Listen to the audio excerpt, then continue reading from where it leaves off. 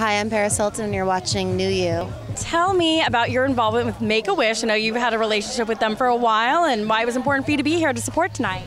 I love Make a Wish. I've been working with them for many years, making some kids' dreams come true. So it's amazing to be here to support. It's such a great cause and bring so much happiness to these children and their families.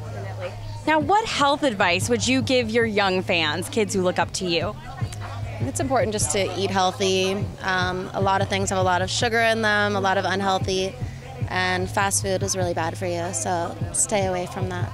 and you've been teasing a beauty secret on your Twitter, Unicorn. Are you ready to talk about the Unicorn Mist?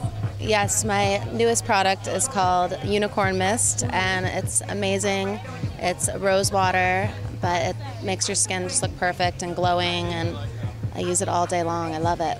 And lastly, Halloween's right around the corner. You've always been a you know big fan of Halloween. What are your plans, and do you know what you're going to be this year? I'm really excited. I love Halloween. It's actually my first time I'll be in New York. Um, I'm actually going there tomorrow night because I'm DJing a couple events. Oh, wow. And so I'll be out there and with my sister, and she's going to have her first pregnant uh, Halloween. so exciting. So exciting. She's trying to pick out an outfit or you know costume that will go with her baby bump. You're excited to be an aunt?